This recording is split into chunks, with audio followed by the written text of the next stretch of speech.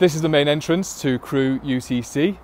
There is also a student entrance just to the left hand side and round the side there where students can enter in the morning and where they will be excused from at the end of the day. If you are collecting students uh, during the day then this is where you come to um, and come and speak to one of our reception staff.